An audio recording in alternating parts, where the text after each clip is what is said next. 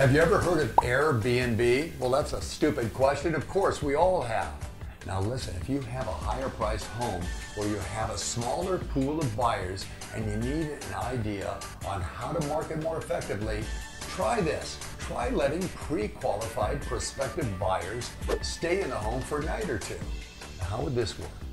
Easy. The homeowner would need to make the home available through their own Airbnb account.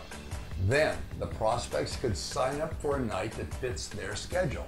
And what a better way to tap into someone's emotions than to let them physically experience and envision what their life would be like in that home right before they buy it. Now, this type of offer or opportunity will really market itself. Not only does it show that you are on the cutting edge as an agent, but it proves that you really want to find the perfect person or family for your seller's home. I thank you for joining me again. Have a great day.